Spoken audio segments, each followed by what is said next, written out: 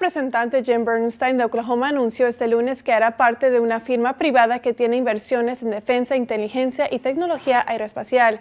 De acuerdo con el director de la compañía, el representante Jim Bernstein hará parte de su grupo como consejero en asuntos tecnológicos y militares de tiempo completo. Bernstein ha servido como congresista, además es un experimentado piloto de las reservas de la Armada impotentes. Así están muchas de las personas que reciben beneficio de desempleo en el Estado.